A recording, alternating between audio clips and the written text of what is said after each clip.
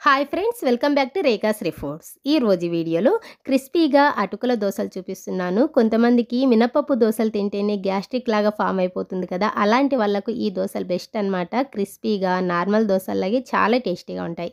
ఇంకా ఈ ప్రాసెస్ ఏంటో చూద్దాము. దీనికోసం ముందుగా ఒక గిన్నె తీసుకుని అందులోకి ఒక రెండు కప్పుల వరకు రేషన్ బియ్యం వేసుకున్నాను. రెండు కప్పుల బియ్యానికి ఒక కప్పు అటుకులు యాడ్ చేసుకుంటున్నాను. తిక్కటి అటుకులు వేసుకుని క్రిస్పీగా వస్తాయి దోశలు. నెక్స్ట్ ఇందులోని ఒక స్పూన్ మెంతులు కూడా యాడ్ చేసేసుకుని వీటిని ఒక రెండు మూడు సార్లు ఇందులో ఉన్న డస్ట్ అంతా పోయేంత వరకు బాగా క్లీన్ చేసుకోవాలి. సో ఈ విధంగా బాగా కడిగిన తర్వాత ఇప్పుడు ఇందులోకి ఇవి మునిగేలాగా వాటర్ని యాడ్ చేసేసుకుని మినిమం నాలుగు నుంచి ఐదు గంటల పాటు నాననివ్వాలి.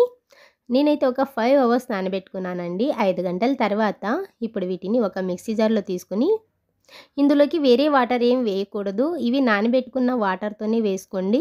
గ్రైండ్ చేసుకోండి. అప్పుడే దోశలు క్రిస్పీగా వస్తాయి. అలాగే టేస్టీగా కొంట కూడా ఉంటాయి. సో ఇప్పుడు వీటిని మెత్తగా గ్రైండ్ చేసేసుకుని ఒక గిన్నెలో తీసేసుకోండి. ఈ విధంగా అంతా కూడా గ్రైండ్ చేసుకున్న తర్వాత ఇందులోకి వాటర్ ఏం వేయకూడదు. బ్యాటర్ కన్సిస్టెన్సీ అనేది ఈ విధంగా చిక్కగా ఉండాలి. అప్పుడే పిండి అనేది బాగా పులుస్తుంది. అలాగే బబుల్స్ బబుల్స్ లాగా వస్తుందండి. ఇప్పుడు దీన్ని ఇదంతా కూడా ఒకసారి బాగా కలుపుకోవాలి.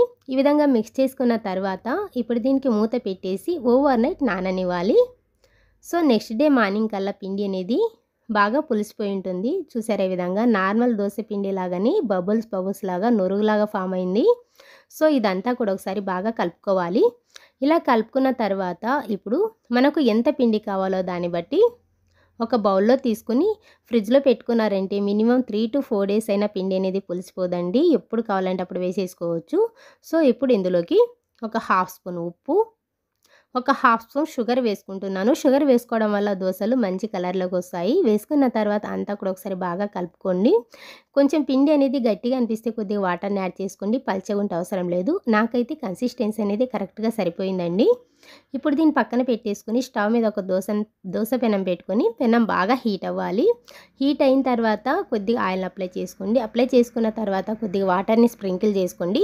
స్ప్రింకిల్ చేసుకున్నాక ఒక టిష్యూతో క్లీన్ చేసుకున్నారనుకోండి ప్యాన్కున్న డస్ట్ ఏమన్నా ఉన్నా కూడా రిమూవ్ అవుతాయి. అలాగే దోశలు కూడా క్రిస్పీగా వస్తాయి. ఆ తర్వాత మంటని మీడియం ఫ్లేమ్లోకి అడ్జస్ట్ చేసుకుని ఒక గరిట వరకు దోశ బ్యాటర్ వేసుకుని మనకు ఎంత పల్చగా కావాలో దాన్ని బట్టి దోశల్ని వేసుకోవాలి.